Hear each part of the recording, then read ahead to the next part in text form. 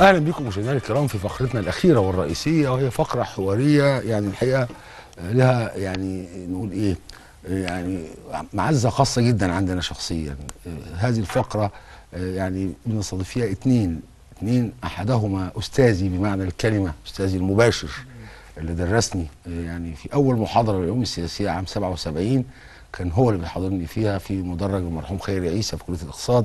استاذي الدكتور أحمد يوسف أحمد أستاذ العلوم السياسية كلية الاقتصاد والعلوم السياسية جامعة القاهرة وأشياء أخرى كثيرة في التفكير وال يعني والإبداع. تسلم. منورنا أستاذي. صديقتي العزيزة وزميلتي الأعز ال- يعني أنا بقول لها الحمد لله على السلامة. الله لله على يسلمك، سلامتك من يسلمك الوعكه يا الصحيه اللي لمت بحضرتك وأنت يعني منورة كل المجالات اللي ربنا يخليك. الدكتوره شكراً.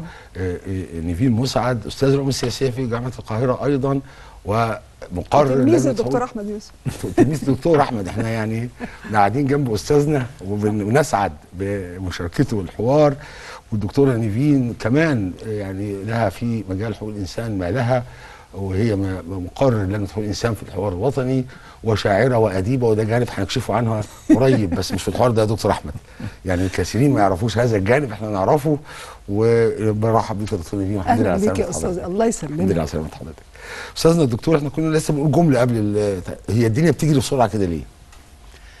آه والله آه يعني فعلا الملاحظة إنه التطورات صارت متعددة الأبعاد. اولا أنا آه بشكرك يا دكتور ضياء على الدعوة الكريمة وعلى أنك جمعتني مع الدكتورة نيفين في حضور عام وربنا يديم حضورها يا رب.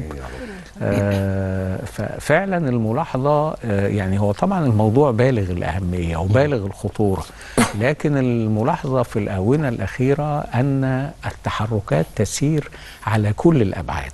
مثلا على صعيد أداء المقاومة.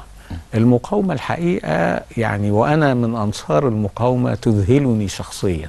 يعني رغم كل هذا هذه الضراوة من قبل إسرائيل ومن يقفون وراء إسرائيل المقاومة ليست فقط صامدة ولكنها تفاجئ العدو بل وتفاجئنا بأنها تعود إلى آه، مواقع ادعت إسرائيل أنها طهرتها منها.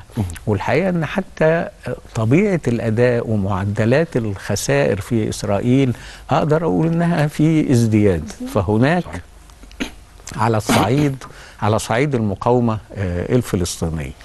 التطورات الثانية المتسارعة على صعيد الجبهة الإسرائيلية. لأنه طبعا كان من الطبيعي بعد أن دخلنا في الشهر الثامن للمواجهة والفشل الإسرائيلي في تحقيق الأهداف الرئيسية أو الهدفين الرئيسيين كان من الطبيعي أن يحدث نوع من الاختلافات والانقسامات. لكن ما شاهدناه في الأيام الأخيرة شيء غير مسبوق أنه انتقادات علنية توجه مثلا من وزير الدفاع إلى رئيس الوزراء. انتقادات علنية توجه من بيني جانز إلى رئيس الوزراء. آه، تصريحات مبالغة في حماقتها من بنجفير وسموتريتش. فعلى صعيد رئيس الانقسام الوزراء يهاجم الجيش. ورئيس الوزراء يهاجم الجيش وبعدين فجأة تطلع لنا امبارح أو أول امبارح إنه بنعيد تبادل الاتهامات بشأن إنك حذرت ولم تستجب. فهو يقول لأ. هم قالوا لي إن الدار أمان. يطلع لبيد يقول لأ. أنا تلقيت نفس المعلومات اللي هو تلقاها.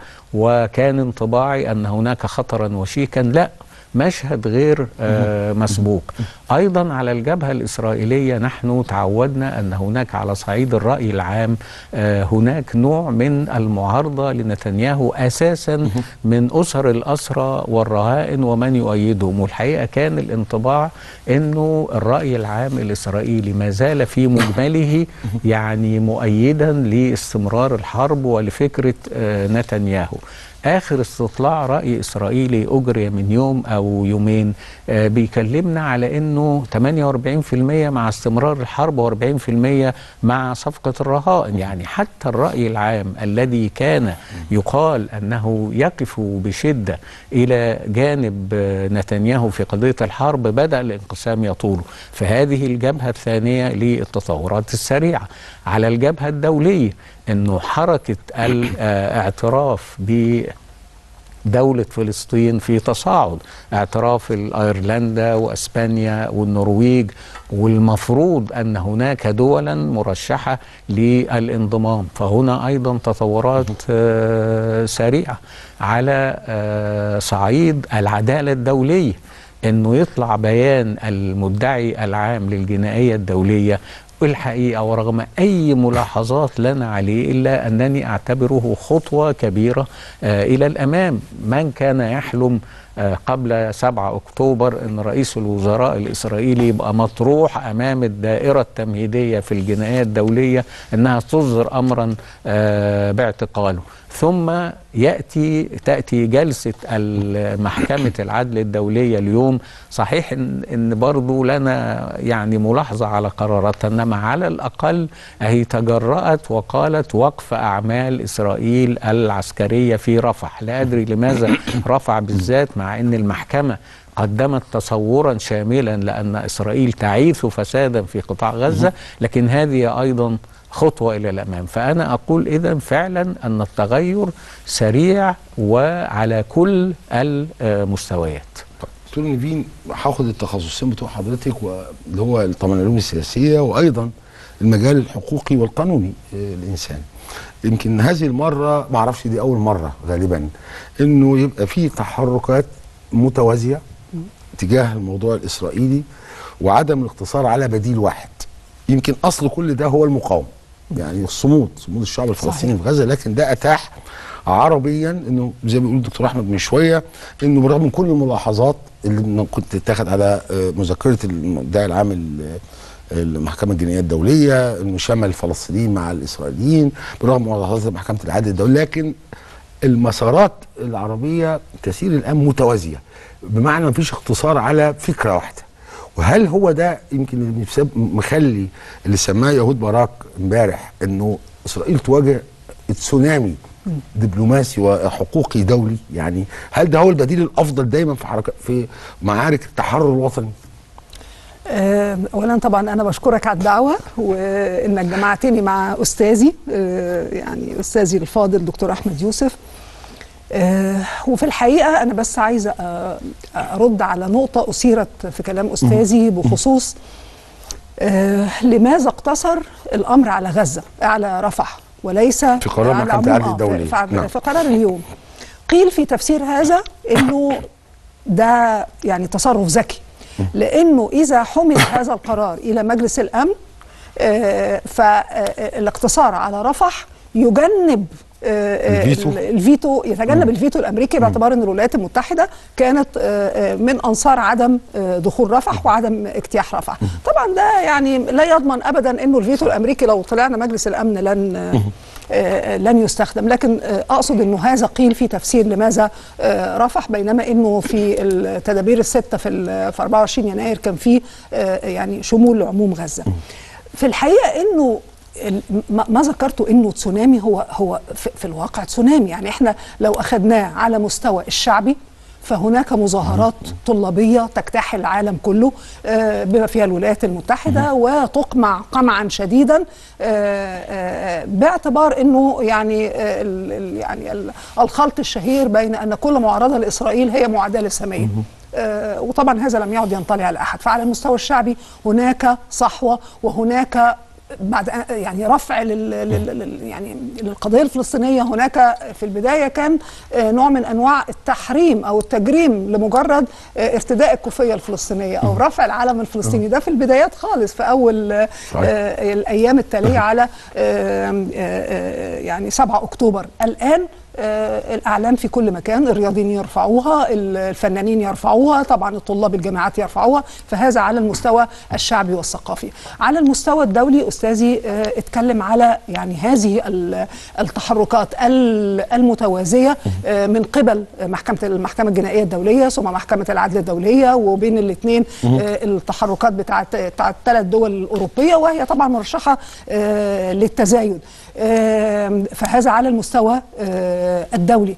على مستوى آه، منظمات حقوق الإنسان. كل منظمات حقوق الإنسان. واليوم في آه، في جلسة المحكمة العدل الدولية القاضي نواف سلام استشهد بالعديد من التصريحات والبيانات المنسوبة إلى سواء الأونروا سواء مكتب الغذاء العالمي المؤسسات الحقوقية المختلفة في التأكيد على أنه آه، إسرائيل تمارس عملية التجويع وال آه، وال, وال يعني وال وال, وال تعذيب للمواطنين الفلسطينيين. وكان من الطريف من يومين كده إنه أصدرت إسرائيل آه، قائمة بمجموعة المنظمات التي تساعد المحكمة الجنائية الدولية في أو التي ساعدت المحكمة الجنائية الدولية على اتهام آه، آه، إسرائيل بأنها آه، تقوم بتجويع الفلسطينيين.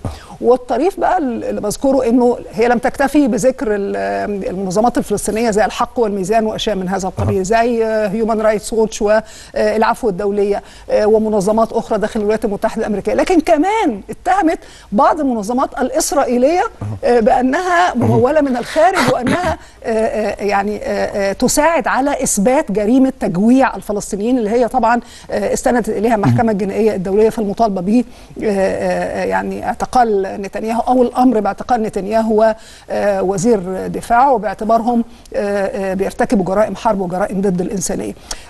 فهو فعلا تسونامي على كل المستويات سياسي آه، حقوقي آه، شعبي آه، ثقافي وحتى طبعا الداخلي التسونامي الداخلي ال- الذي ذكره أستاذي الفاضل على كل المستويات وصراعات في داخل المجتمع الإسرائيلي داخل كابينة الحرب خارج كابينة الحرب الشارع في مواجهة نتنياهو. وهناك تصعيد يعني هو هناك يعني يعني استخفاف شديد بهذا التسونامي. يعني يعني كمان ال- ال- ال- الرد الفعل الإسرائيلي بيغذي هذا التسونامي. يعني لما يطلع النهارده أول رد فعل على محكمة العدل الدولية قرار محكمة العدل الدولية إنه يجب اجتياح رفح وقمع حماس. يعني هذا شيء. أنه يتم قصف وسط رفح لأول مرة بعنف شديد آه، لم يسبق له مثيل. وكأنه آه، أنتم تطالبوننا بوقف العمليات العسكرية في رفح فها نحن نزيد آه، آه، آه، العنف في رفح. فالتسونامي ده بي- بيتغذى إحنا دخلنا دورة خبيثة. يعني يعني نحن إزاء مجموعة من المتطرفين الذين يقودون إسرائيل والمنطقة والعالم كله إلى حافة الهوية. وبالتالي منطقي جدا إنه نشاهد هذه ال- ال- الموجة العاصفة وهذا التسونامي اللي بتتكلم عليه حضرتك على كل الأصعدة والمستويات. ممتاز. طيب دكتور أحمد يعني أنا اجتهدت فاسميت إنه اللي تشهده إسرائيل الآن هو الموجة الأوسع والأطول من العدوانية الإسرائيلية في تاريخ إسرائيل كلها. وإنها شملت كل شيء تقريبا وعادت حتى إلى أشياء لم تكن مطروحة مثل التغيير القسري يعني طوال حكم اليمين الإسرائيلي التقليدي وحتى أثناء احتلال اسرائيل لغزة نفسها ومعها سيناء لم يفكر اليمين التقليدي في هذا ولا ولا اليسار الإسرائيلي في حينه. ولكن عادت الأوهام والأساطير تسيطر مرة أخرى على إسرائيل. والسؤال هنا سؤال يعني هو حقيقة إجابته صعبة أنا عارف لكن نفكر مع بعض. إحنا وحضرتك ذكرت أرقام الإحصائيات والتسونامي و... و... اسرائيل تمر بحالة غير مسبوقة سواء داخليا أو اقليميا. أو آه، دوليا وهرجع لموضوع مصر تحديدا إنه جزء من الحالة غير المسبوقة أيضا. هل يا ترى النخبة الإسرائيلية الاستراتيجية الحالية اللي هي تضم الحكومة والمعارضة وكل الناس يعني عشان الناس تبقى فاهمة لسه قادرة على فعل السلام؟ هل إسرائيل تحتاج لنخبه جديدة؟ هل النخبة دي قادرة بالفعل إنه بكل الضغوط دي والاقتناع معا تخوض عملية حل الدولتين؟ آه الحقيقة ده سؤال شديد الأهمية يا دكتور ضياء أنا أستطيع أن أفرق آه في النخبة الإسرائيلية السياسية والعسكرية بين شريحتين. شريحة متطرفة مجنونة مثل نتنياهو وبن جفير وسموتريتش وإلى آخره. وهؤلاء لديهم حالة أولا من العقلية الاستعمارية المغلقة التي لا تقتنع وإنما تنكسر. يعني ستنكسر إما بأن تسقط داخليا أو بأن تهزم عن طريق عملية من عمليات المقاومة كما يجري آه الآن. هذه هذا الشق من النخبة الإسرائيلية لا أمل فيه وغير قابل على أن يصل بنا إلى أي مسار للتسوية علما بأن الطرف العربي والفلسطيني كما نعلم قد قدم أقصى ما يمكن صحيح. من أجل تيسير هذه ال- التسوية الشق الثاني من النخبة الإسرائيلية يعني آه، أنا لست شديد التعمق في هذا الصدد ولكني أستطيع أن أقول أنه يمكن أن يصل إلى تسويات دون أن يعني هذا أنه متخلي عن أهداف المشروع الصهيوني أو شيء من هذا آه القبيل. يعني يمكن أكبر رمز أو آه نموذج لهذا النوع من النخبة كان إسحاق رابين صحيح. الذي توصل مع الفلسطينيين إلى اتفاق أوسلو الذي بموجبه اعترفت إسرائيل لأول مرة بالمنظمة التحرير الفلسطينية بعد أن كانت تعتبرها منظمة إرهابية وطبعا الشق الآخر من المجتمع الإسرائيلي تكفل باغتياله صحيح. الآن ربما يكون لابيد هو ممثل هذا النوع من النخبة. لو نذكر قبل 7 أكتوبر كان قد بدأ يقول حل الدولتين و و آه إلى آخره. لكي يكون هناك مستقبل للتسوية في الأمد القريب لابد أن تسقط الحكومة الحالية. وهذه الحكومة الحالية إما أن تسقط أثناء الحرب يعني في هذه الأيام يعني سقوط وشيك أنه نتيجة نتيجة لإيه؟ نتيجة أن المقاومة صامدة والخسائر تتزايد والعمليات أصبحت عمليات نوعية ومن ثم يزداد الضغط الداخلي شيئا فشيئا حتى تنفجر آه الأمور إذا سقطت هذه الحكومة وجاءت حكومة أخرى هيتوقف الأمر ما مدى معقولية هذه الحكومة. يعني أنا الحقيقة عندما أنظر إلى تصريحات تصريحات بيني جانز في في بعض أو في كثير من الأحيان هو يقول أنا مع الصفقة وإلى آخره. لكن عندما نتأمل في تصريحاته أقول أن هذا الرجل ربما يكون أخطر على القضية الفلسطينية من نتنياهو. لأن نتنياهو شديد الفجاجة وجمع العالم كله ضده أما بني كنز فهناك شيء من آه، المعقولين. إذا سقوط حكومة نتنياهو لا يضمن أن تأتي حكومة يعني تكون التسوية معها ميسرة لكن الشيء الأكيد أن استمرار هذا النوع من الحكم لا يمكن أن يأتي آه، بتسوية. والحقيقة يا دكتور ضياء أنه آه، تجارب التحرر الوطني بتشير إلى ال- العقلية المغلقة للاستعماريين. إنه لا يعرف أو لا يستطيع أن يدرك منطق آه التاريخ. وأنا يعني بتذكر في هذا الصدد تجربتين تجربة فرنسا في الجزائر. والبرتغال في أفريقيا. صحيح. في كلاهما في كلا في كلتا التجربتين يعني ظلت العقلية الاستعمارية تؤكد إنه يستحيل الانحناء أمام حركات التحرر آه الوطني. فما الذي حدث؟ انقلب الجيش الفرنسي على الجمهورية الرابعة. وأتى بديجول طبعا هو أتى بديجول طبعا في أن ديجول هو الذي يحسم صحيح. القتال. لكن ديجول كان يعني آه ذا عقلية مختلفة أنه فهم أن استمرار الاستعمار مستحيل ومن هنا جاءت التسوية المشرفة. في الحالة البرتغالية انقلب الجيش البرتغالي في 1974 على النظام الفاشي في البرتغال وجاءت التسوية. يمكن طبيعة المجتمع الإسرائيلي, لا تسمح بتكرار هذا النموذج حرفيا. لأن المجتمع الإسرائيلي كشفت لنا المواجهة الحالية عن أنه في مجمله يجتمع حول أهداف المشروع الصهيوني.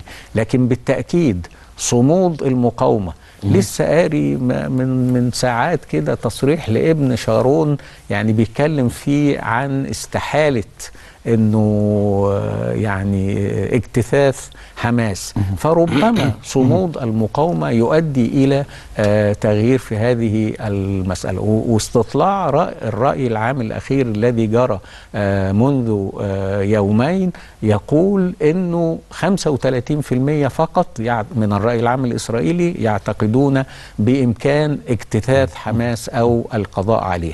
فما أريد أن أقوله إنه باختصار شديد هذا الشق الموجود في الحكم الآن من النخبة الإسرائيلية لا يمكن معه أي تسوية وبعدين هنروح بعيد ليه آه، نتنياهو بيقول أنا بيفخر بأنه آه، هو الذي افشل صحيح. مشروع الدولة الفلسطينية. صحيح. الشق الثاني هيتوقف الأمر. ثم إن في النهاية إذا جاء واحد مثل لبيد أو أو واحد مثل جانس الصعوبات هتختلف. لكن أعود فأؤكد وأقول أن كل ما يمكن أن يحدث من تطور إيجابي من وجهة نظرنا في الموقف الإسرائيلي سيكون وقفا على صمود المقاومة وصمود القواعد التي تدعم يعني أقصد أن يكون هناك حاضنة فلسطينية ما يبقاش في خلاف فلسطيني صحيح. ناس تهاجم المقاومة في وسط القتال ويكون في حاضنة عربية للمقاومة. طبعا. دكتورة نيفين أيضا الحرب دي والمشهد ده كله أظهر شيء جديد. إحنا أشرنا له إشارة لكن عايز أوضحه أكتر. إحنا يمكن شفنا موضوع حقوق الإنسان بيبرز ضمن نزاعات داخلية في بعض الدول زي رواندا وغيرها في الماضي. لكن ما شفناش نزاع دولي برز فيه بهذا الحجم فكرة الحقوق. الإنسانية وأيضا الحقوق الق- القانونية فكرة العودة لمعاهدات في نهاية الأربعينيات وبداية الجماعية. وهياكل قانونيه دوليه هي في الأصل آه، مختصة بالقانون الدولي الإنساني وحقوق الإنسان تعود إلى قوتها والبعض طبعا هيفسر ده وده طبيعي بفداحة العدوان الإسرائيلي. ده مؤكد عنصر صحيح. لكن إلى جانب العنصر ده هذه العودة الكبيرة يعني ممكن تبقى نتائجها إيه؟ مش بس على على الحاضر على المستقبل في النزاعات الدولية. آه، هي طبعا زي ما تفضلت بالقول إنه آه، يعني استخدمت في هذه ال- ال- الحرب كل الأسلحة. كل الأسلحة تجويع قطع الكهرباء آه، تلويث المياه أو منع المياه إلى آخره. فهذا شق لابد أن ينتبه إليه بطبيعة الحال. مسألة إنه هذا هذه الإثارة لحقوق الإنسان في في يعني في النزاعات الدولية تتوقف بقى على ضراوة آه، آه، يعني هذا النوع من النزاعات ال- الدولية. مدى مدى مدى الانتهاكات التي تمارس ضد حقوق آه، الإنسان. ف المشهد المشهد الإسرائيلي هو الذي سمح بإبراز هذه ال هذه ال ال القضية قضية حقوق الإنسان وخصوصا أنها بيلوح بها في في العديد من في العديد من من النزاعات يعني أوكرانيا وروسيا آه، آه، بطبيعة الحال هذه الورقة كانت مستخدمة. فلماذا تستخدم هذه الورقة؟ ولماذا تستدعى صلاحيات المحكمة الجنائية الدولية أو محكمة العدل الدولية الاطر القانونية بشكل عام فيما يتعلق بالنزاع الروسي الأوكراني؟ وعندما نأتي إلى النزاع آه، أو الصراع الفلسطيني الإسرائيلي آه، تتوقف. فما أريد أن اقوله إنه فداحة الانتهاكات لحقوق الإنسان هي التي تؤدي إلى ذلك. لكن جيد جدا أن يصار موضوع حقوق الإنسان لأنه عندما أثير فيما يتعلق بأوكرانيا وروسيا استطعنا أن نستدعي هذا النموذج. استطعنا أن نعود إليه. لماذا كانت هناك هذه السرعة على سبيل المثال آه، فيما يتعلق بقرار المحكمة الجنائية الدولية بخصوص آه، بوتين وبخصوص آه، هذا النزاع؟ ولماذا هذا التلكؤ فيما يتعلق آه، بوصف ما حدث بأنه آه، إبادة جماعية؟ ف يعني آه، نحن في عالم متشابك آه، وعالم بيؤثر فيه آه، يعني بعض البعض بشكل بشكل كبير جدا. وبالتالي يعني عندما تصار قضية حقوق الإنسان في نزاع معين لابد أن توظف كما كما فعلنا وكما يعني نستخدمها بالإشارة إلى النزاع الأوكراني الروسي أو يعني أشياء من هذا القبيل. وطبيعي إنه نرجع إلى اتفاقية الإبادة الجماعية في 1948 لأنه ما قامت به إسرائيل من أعمال كله يندرج تحت آه، يعني إبادة مجموعة أو قومية أو إثنية زي ما هم بي بيسموها. إثنية معينة هي ال- الإثنية الفلسطينية. آه، بمختلف بمختلف الطرق. ال- زي ما قلنا التقتيل التشريد التهجير القسري الذي آه، آه، يعني شاهدناه بقى الحديث عنه بشكل بشكل واضح وبشكل فج إلى آخره. ال- التعامل مع الفلسطينيين باعتبارهم حيوانات بشرية ولا كائنات غير بشرية وأشياء من هذا القبيل. فاستدعيت اتفاقية الإبادة آه، آه، الجماعيه بالتطبيق على هذه الحالة آه، بالنظر إلى طبعا الممارسات التي جرى بحق الفلسطينيين. كان عظيم. طب دكتور أحمد برضه هرجع لحضرتك شيء مقوله أنت متبنيها وفكرة وقلتها النهارده وهي مهمة للغاية وقلتها قبل كده وأنا يمكن يعني سمحت لنفسي قبل ما نيجي في المقدمة أكدت عليها وهي إنه لم نعرف مقاومة من القرن ال 17 هزمت واختلفت السبل. يعني مقاومة مسلحة طوال الوقت جزء من الوقت بعض الوقت دبلوماسية تفاوض تراجع تقدم. لكن الخلاصة إنه لا, لا ليس هناك مقاومة وطنية واحدة حركة تحرر وطني هزمت وبقيت الأخيرة وهي فلسطين ال- البعض بيبص للصراع الحالي من نقطة مش من خط وأنا هاممني قوي إن حضرتك كمفكر كبير في هذا الإطار نشوف الخط خط الاحتلال والمقاومة. وفي مقولة آه، ناس كتير مقتنعة بصحتها إنه كل احتلال بيخلق مقاومته على مقاسه على قده. مش وإن المقاومة مش اختيار. آه، ناس بيقعدوا في صالون يختاروا راح نقاوم بالطريقة الفلانية. هي مقاومة بتتم عبر وإن المقاومة في الحالة الفلسطينية عمرها ما كانت زي أي مقاومة في الدنيا فصيل واحد. وعمرها ما كانت كان- ومفيش مقاومة في الدنيا ما كانتش فصائل مختلفة وأفكار. إيديولوجية من فيتنام لغيره كل حتة في الدنيا. والخط النهارده وإحنا في اللحظة الحرجة جدا دي. ال- الشعب المقاوم أنا مش هسمي فصيل لأن هو الشعب هو اللي بيقاوم ويفرض فصائله طول الوقت يعني. حضرتك شايف إن إحنا في اللحظة دي إحنا رايحين على فين يعني؟ هل لأن لحظه حرجة جدا ممكن تؤدي إلى انتصار هائل وممكن تؤدي إلى انتصار كبير؟ حضرتك شايفها ماشية إزاي في الخط الفلسطيني من سنة 17 إلى اليوم؟ 17 القرن الماضي طبعا. آه والله يا دكتور ضياء آه هذا سؤال الأسئلة إذا جاز التعبير. آه نبدأ بالقانون ما أسميه بالقانون العلمي للاستعمار والتحرير. إنه كل استعمار يولد مقاومة.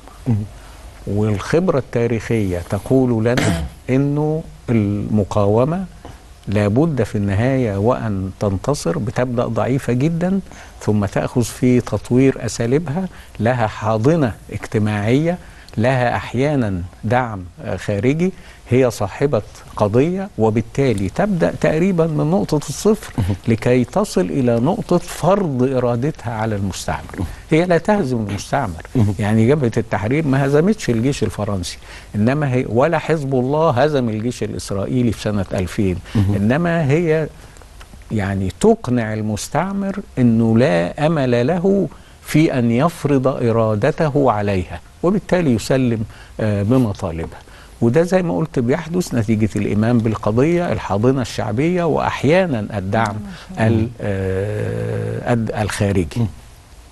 نأتي إلى تطبيق هذا على الحالة آه، الفلسطينيه وقد قبل ما أقول يمكن أشير بسرعة أن البعض يقول طب وماذا عن الهنود الحمر؟ متأسف. هذا كان في سياق دولي مختلف تماما. أيام الهنود الحمر لا كان في وسائل تواصل ولا كان في رأي عام ولا كان في ولا حد يعرف أصلا مكان أمريكا فين. بالضبط. ولا حد. يعرف أمريكا أيضا دي أصلا دي فين. وبالتالي نيجي بقى نطبق ده على الحالة الفلسطينيه سنجد أن كما قد لا يتصور البعض. المقاومة الفلسطينية لم تهدأ. في يوم من الأيام هو إحنا عندما نتحدث عن مقاومة شعبية لا نقصد إن كل يوم وكل ساعة مم. في عمل مقاوم إنما نقصد انت استخدمت يا دكتور ضياء تعبير الخط. نقصد خط التاريخ. هنجد إن الشعب الفلسطيني بمجرد اتضاح المشروع أبعاد المشروع الصهيوني بدأت حلقات المقاومة. وبدأت يعني تأخذ في القوة شيئا فشيئا. عندنا انتفاضة البراق في 1929 عندنا ثورة 1936 التي لولا اعتبارات للأسف فلسطينية أيضا وعربية أيضا ودولية لحققت انتصارا على المشروع الصهيوني. عندنا مثلا بعد ذلك حركة الفدائيين التي كانت ترعاها الإدارة المصرية في قطاع غزة في خمسينات القرن الماضي. الشهيد العقيد مصطفى حافظ. الله يرحمه وما زالت أو كانت صوره تملأ البيوت في ومدارس في غزة. باسمه حتى الآن بالضبط عديد حتى المدارس. بالضبط كده. ثم أعتقد إنه 67 كانت نقطة فاصلة في المقاومة الفلسطينية لأن إسرائيل وأنا دايما أقول إن 67 هي أعلى نقطة في منحنى القوة الاسرائيلي لأنه إسرائيل بإكتمال احتلال أرض فلسطين وسعت من قاعدة المقاومة وبدأنا نسمع عن مثلا شيء مثل معركة الكرامة في 1968 بدأنا نسمع عن عمليات مقاومة متعددة. يمكن اختلف الرأي حولها في وقت آه، من الأوقات لكن في النهاية كانت مقاومة. ثم أبدع الشعب الفلسطيني أسلوب الانتفاضات. الشعبية في انتفاضة الحجارة في ديسمبر 87 التي استمرت حتى الغزو الأمريكي للعراق. ثم وأنا أعتبر إن اتفاقية أوسلو على سوءتها كانت نتيجة لهذه الانتفاضة. ونظرا لانقلاب نتنياهو عليها لما وصل للحكم لأول مرة في 1996 فإن الشعب الفلسطيني عاد إلى المقاومة وجاءت انتفاضة الأقصى في سنة 2000 وهي الانتفاضة التي استمرت حتى أجبرت إيريل شارون وهو من أشد رؤساء وزارات إسرائيل تطرفا أجبرته على مبدأ آه، فك الارتباط من جانب واحد اللي هو الانسحاب من قطاع غزة بل وتفكيك من المستوطنات القريبة منها خشية من المقاومة. ثم ولنتأمل بقى فيما يجري ونربطه بما يجري الآن. ثم عودت إسرائيل محاولة إجهاض المقاومة في غزة في 2006 و2008 2009 و2012 و2014 وهكذا آخر حلقة من حلقات محاولة إسرائيل ضرب المقاومة كانت في مايو 23 يعني قبل 7 أكتوبر 23 بست شهور. اذا المقاومة الفلسطينية كخط متصل هي مستمرة. ثم إنها في صعود في صعود عملية 7 أكتوبر أخطر عملية مقاومة في تاريخ المقاومة الفلسطينية. وبالتالي المقاومة بخير. آتي إلى النقطة الخطيرة بقى. حضرتك تحدثت عن أن عمر المقاومة ما كانت فصيل واحد. فعلا. والمقاومة في هذا الصدد أو تجارب المقاومة حالتان. حالة يكون فيها فصيل رئيسي زي مثلا جبهة التحرير الجزائرية. نعم كانت هناك فصائل لكن الكلمة العليا كانت لجبهة التحرير الجزائرية وبالتالي مرت الأمور آه، بسلام. حالات أخرى انقسمت فيها المقاومة انقساما مروعا مثل حالة أنجولا وأدى هذا إلى تعطيل آه، تا- تاريخ الاستقلال وإلى آخره. للأسف الآن المقاومة الفلسطينية تعاني من انقسام أو لا أقول المقاومة وإنما أقول الفصائل لأن هناك فصيلا رئيسيا آه، ارتضى أسلوب التسوية السلمية وفصيل رئيسي آخر ما زال متمسك بأسلوب آه، المقاومة. وهذا ليس بالشيء الجديد لأنه أدوات المقاومة كما أشارت تتنوع.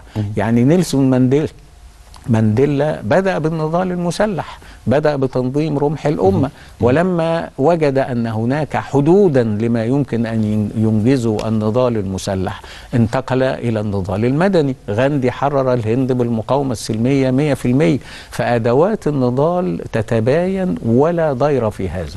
المصيبة الوحيدة أن يكون هناك انقسام يضر كل فصيل يضر بالآخر.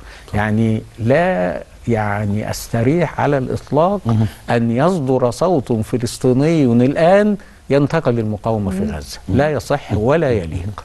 وإنما يجب أن تكون هناك كلمة واحدة لأنه إن شاء الله عندما تنجز المقاومة ما سوف تنجزه في هذه الجولة سوف يكون من الخطورة بمكان إن إحنا نيجي بقى في اليوم التالي نلاقي الفلسطينيين ليسوا على قلب رجل واحد. فقضية الوحدة الوطنية الفلسطينية أعتبرها الآن قضية القضايا. وإذا لم يتمكن الفلسطينيون من إنجازها فعلى الأقل العرب أو النظام العربي ينبغي أن يتصدى لهذه المهمة. سؤالي الأخير ليك يا دكتور نيفين وهو يعني متعلق بالموضوع ومتعلق بمصر في نفس الوقت. إحنا لدينا كنا بنتكلم قبل الهواء وأذعت ده قبل الاتصال اللي قام بيه الرئيس بايدن. بالرئيس عبد الفتاح السيسي وإحنا شفنا يعني موجات التوتر الكبيرة في العلاقات المصرية الإسرائيلية اللي تبدو للجميع واضحة يعني. وشوف والنهاردة كان اتصال الرئيس بايدن مع الرئيس السيسي اكدوا في إنه هيبقى هناك في عودة لل- للمفاوضات أو الضغط من أجلها. وعندنا اجتماع في أوروبا رئيس السي آي اي مع رئيس. رئيس وزراء قطر ورئيس الموساد. وعندنا آه، طول الوقت عشان أبقى صريح يعني آه، ناس مش كتير بس في ناس آه، وبعضهم يعني مرة يقول لك طب هي مصر ليه بت- بتقفل المعبر ده حسب رأيه. ثم يجي نفس الشخص يسألك نفس السؤال أنا سئلت هذا طب هي مصر إزاي تزور حسب سي إن إن مستندات لصالح حماس؟ فأنا سألت اللي بيسألني قلت له هو أنا مصر فيهم؟ حضرتك تقصدها؟ يعني فبالتالي عشان كده أنا بسأل حضرتك إحنا مصر لأول مرة بشكل واضح تماما تكون وسيط ومعلن مواقف مبدئية لا تراجع فيها بهذا بهذا الشكل بهذا الحسم. هل حضرتك شايفة إنه آه، ده هيؤثر في الفترة القريبة جدا اللي جاية مع آه، الاخذ في اعتبار التسونامي وكل والمحكمة العدل وكل اللي حاصل. هل آه، آه، مواقف مصر الق- القوية جدا دي من وجهة نظرنا هتؤثر في قدرة مصر أو في استقبال إسرائيل للوساطة المصرية اللي على ما يبدو إنه ما فيش مهرب من التفاوض تاني؟ طيب هي قبل ما إسرائيل تشكك في الوساطة المصرية هي شككت قبل كده في الوساطة القطرية. صحيح. صحيح. فهي في الحقيقة ضربت ركني الوساطة آه، الرئيسيين. بدأت بقطر وعلاقتها بحماس ومكتب حماس في الدوحه إلى آخره وتساعد الإرهابيين إلى آخره. ثم استدارت إلى مصر بسلسلة بقى من الأكاذيب. مصر هي التي تمنع آه، دخول المساعدات إلى آه، عبر معبر رفح. وقيل هذا في المحكمة الجنائية الدولية. مظبوط. آه، آه، في محكمة العدل الدولية أسف. آه، قيل هذا في محكمة العدل الدولية. ده, ده, شيء. بعد كده أنه آه، مصر هي التي تمنع الفلسطينيين من الخروج ويعني وطريقة بقى شديدة الفجاجة في إنه ال- الحل بسيط أن يفتح المعبر ويسمح لمن يريد أن يخرج. للعلاج. آه، امبارح يخرج، المتحدث آه، الرسمي باسم آه، الحكومة. للعلاج. آه فليخرج ويذهب إلى آه، مصر. ثم مسألة التلاعب بقى دي. يعني يعني يعني مصر بتاريخها في التفاوض وبدبلوماسيتها وبخارجيتها آه، العريقة. سوف تتلاعب. طب ده آه، يعني آه، يعني ال- ال- ال- المفاوضات ال- ال- ال- الجارية بين مصر وإسرائيل لم تكن ثنائية على الإطلاق لكنها كانت رباعية اذا. جاز التعبير أمريكية إسرائيلية قطرية وامريكيه فيعني هذا التداول ال- الرباعي آه، آه، في في ال- في التفاوض كان يستحيل معه التلاعب. أنا اتصور إنه الموقف المصري كان شديد شديد الصلابة وعلى الفور بعد هذا الموقف بدأنا آه، نلاقي البداية من إسرائيل. آه، إنه آه، ربما نقوم ببعض الجهود من أجل آه، صيغة آه، معينة من من من صيغ التفاوض. ثم شهدنا بعد ذلك اجتماع باريس اللي حضرتك بتتكلم عليه. ثم آه، اتصال آه، الرئيس الأمريكي بالرئيس السيسي. فيعني عندما أخذت مصر هذا الموقف الصلب آه، وقالت أنها آه، تهدد بالانسحاب من المفاوضات طالما إحنا يعني مفاوض غير نزيه أو مفاوض يتلاعب بصيغة آه، بصيغة الصفقة آه، يبقى اذا ننسحب منها. على الفور حدث تراجع في الموقف الإسرائيلي حدثت هروله من الجانب الأوروبي حدث الاتصال آه، الأمريكي. مصر لم تكن آه، تستطيع أن تفعل آه، غير ذلك يعني لأنه طوال الوقت في تشكيك وطوال الوقت في يعني استعداء آه، على مصر. ولما يتقال إنه مصر بتمنع ال- المعونات أو دخول رفح وإسرائيل هي التي تسيطر على المعبر حاليا. فمصر ردت أنا عندي 500 شاحنة واقفة آه، آه، يعني واقفة ومعطلة. وفي تقارير من المنظمه العربية لحقوق الإنسان وغيره بتذكر إنه حتى قبل استيلاء إسرائيل على معبر رفح وسيطرتها عليه آه إنه المساعدات كانت تترك بال بال بالأيام صحيح، والأسابيع صحيح، حتى صحيح. آه تفسد.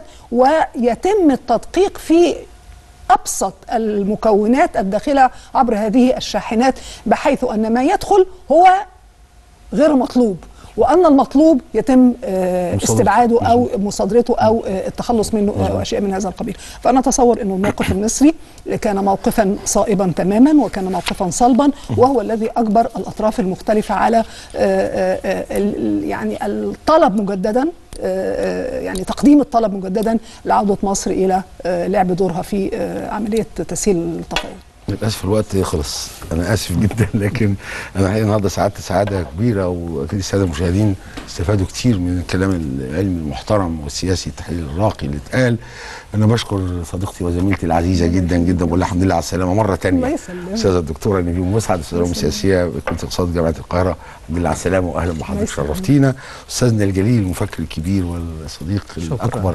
الأستاذ الدكتور أحمد يوسف أحمد أستاذ العلوم السياسية أيضا وأستاذ اقتصاد جامعة القاهرة. وأستاذنا أنا والدكتورة نيفين. أنا كنت قاعدة في محاضرة بصراحة أنا كنت قاعدة في محاضرة عن حركات. التحرر الوطني. بس ده كان من اكتوبر 77 حتى اللحظة وأنا قاعد في محاضرات قدام الدكتور أحمد. ربنا بشكرك شكرا. جزيلا استاذي الجميل الله يخليك. شكرا يا فندم. شكرا. مشاهدينا الكرام انتهت حلقتنا النهارده وانتهى هذا اللقاء الممتع المفيد. بنترك حضراتكم على خير إلى الأسبوع القادم إن شاء الله في حلقة جديدة من مصر جديد